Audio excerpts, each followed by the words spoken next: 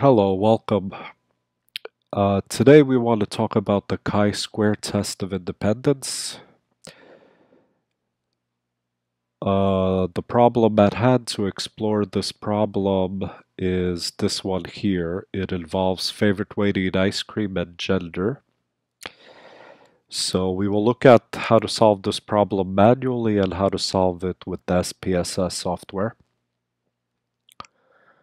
So, the chi-square test is basically to determine whether two variables are independent or dependent. Um, as you see here, we have two categories of gender, five categories of favorite way to eat ice cream. We will so basically the data they're giving us here, they're giving us observed values. Those are the ones outside of the parentheses. And the ones in the parentheses are expected values. So just a reminder, this problem was originally presented to us here. It was just presented with the observed data the expected values were calculated using this formula. And as you see in this formula, each expected value, we take sum of the rows for that value times the sum of the columns and we divide by the sample size. The first index indicates the row, the second index indicates the column. Hence, we can verify that these are correct using this formula. So these are the expected values that go in their respective cells in the table.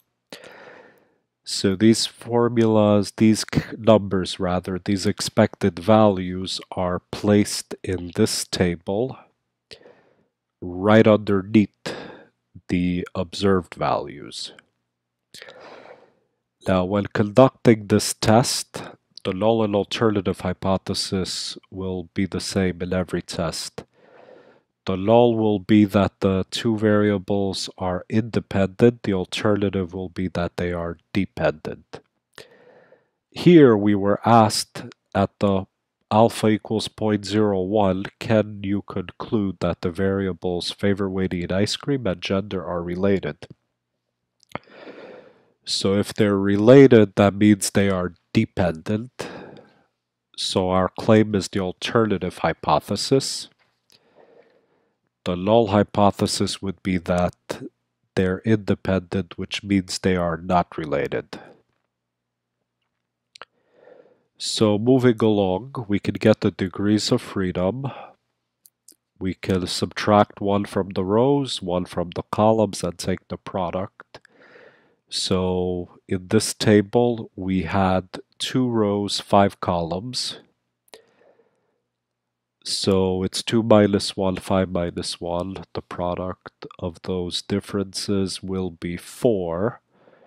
So we have 4 degrees of freedom. With 4 degrees of freedom and alpha 0.01, we get a critical value of chi squared to be 13.277.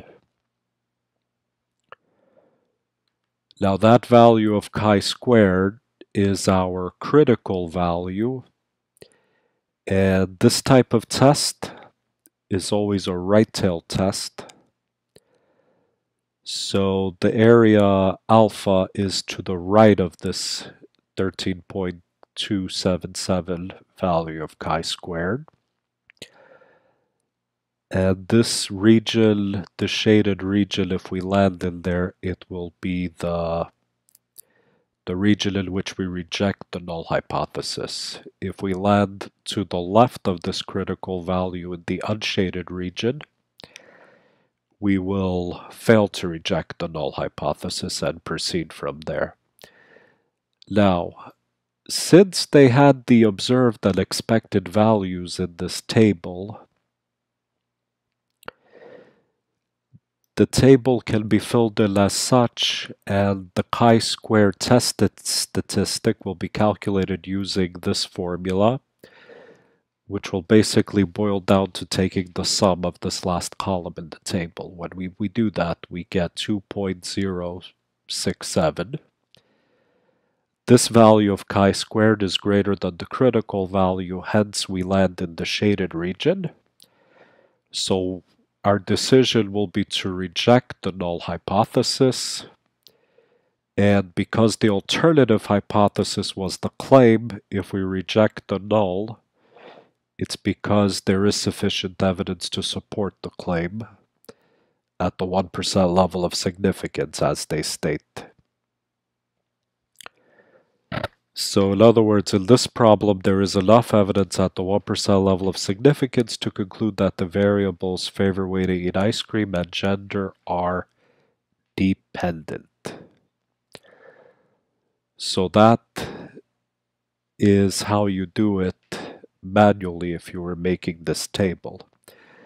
Now the question, how would we do it in SPSS? Well, we would still come up with the null and alternative hypothesis the same way. The alternative would be our claim. And our critical value would still be 13.277 as they indicated here. Now let's take a look at the same problem in SPSS. So here's a new data file in SPSS we will enter the data in this data file. Now remember, we had two categories of gender, five categories of favorite weighted ice cream. So ultimately it will be 10 lines of data, or 10 pairings of data, between gender observed frequency and gender and expected frequency. So the first column, I'm going to make it the gender variable. There were two genders. So I will just put ones and twos going all the way down. Ones being male, two being female. We can use any numbers we choose, it doesn't matter.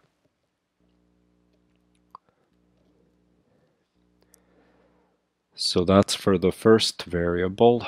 Now the second variable, let's make it waste heat ice cream. We had five categories. I used ones and two, so let me start with the number three. And if there's five of them, I'll finish with the number seven. However, each number has to be paired with both of these genders. Each number corresponding to category, that is, has to be paired with both of these numbers for gender. So the number three indicates that the cup was the favorite. So this is the pairing between men whose favorite way was to have it in the cup. And this is the pairing between females who decided to have the cup as their favorite. And I will keep going until I finish.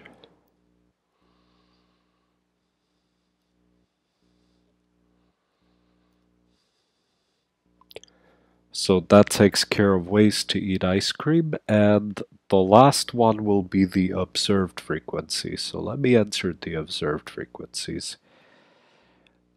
And these I'm just entering based on the table that we had before.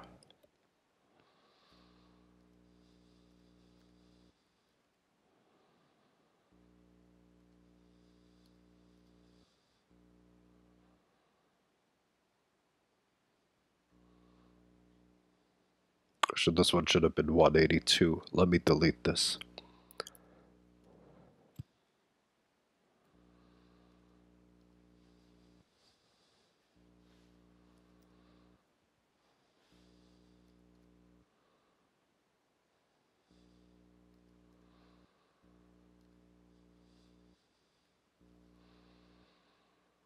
Okay, now let me label these. This one we said was gender.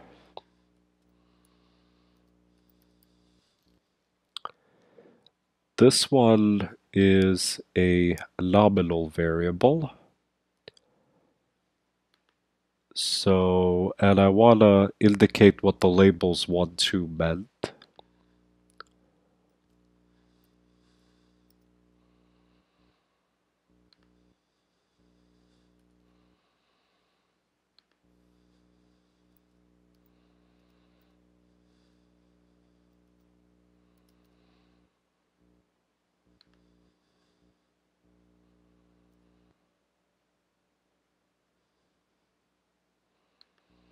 So that's it for gender. Gender had two categories, one and two.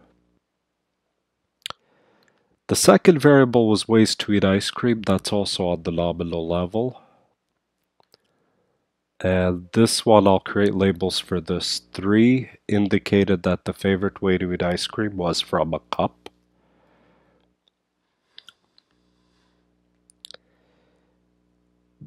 4 indicated that the favorite way to eat ice cream was from a cone. 5 indicated favorite way to eat ice cream was in the form of a sundae. And 6 indicated that the favorite way to eat an ice cream was a sandwich and 7 indicated, I suppose, all other ways to eat ice cream. Okay, so that takes care of this variable, which was ways to eat ice cream. Okay. Now, again, that's a little too long, so I'm just going to leave it as ways. The third column, or third variable was the observed frequency. So I'll indicate it this way. We're going to have uh, expected frequencies as well for this. So let me put this on scale level. And I will not put labels here. Alright, so let's take a look this is our data table. Now I'll show you something neat here. What we can do, we can replace these numbers with actual labels of the categories. What we do, we just click on this capital A here. There we go. So now it looks more aesthetically pleasing. Now, one thing we need to do first when we conduct this analysis, we have to weigh the data. We are going to weigh the cases. We are going to weigh the observed frequency. So we will do that. Okay, so SPSS is weighing them. And let's take a look. We will go to Analyze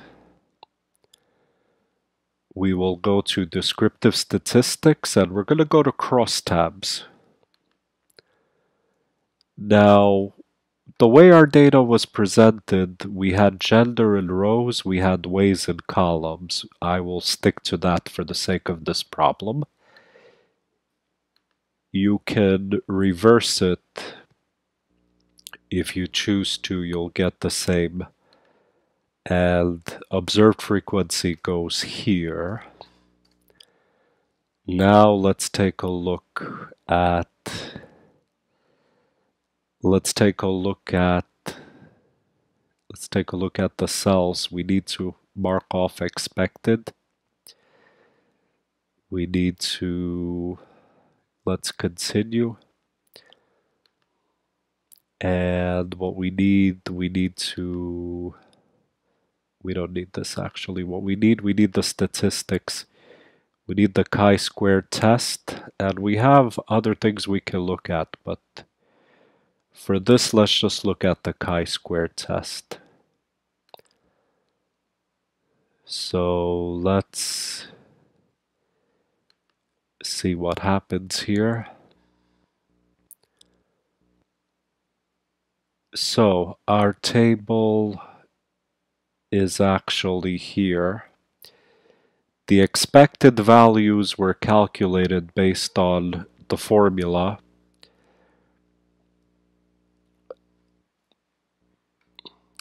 So we have these on top were the observed values. These on the bottom were the expected values. This is for males, this is for females. So it generated the proper contingency table for us.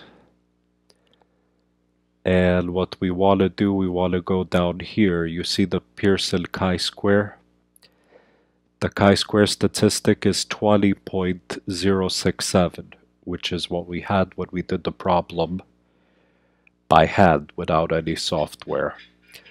So this value, again, 20.6067, that value for chi-square, is greater than the critical value, which was 13.277. Hence, we are in the shaded region. We will reject the null hypothesis, and since our claim was the alternative hypothesis, there is sufficient evidence to support the claim.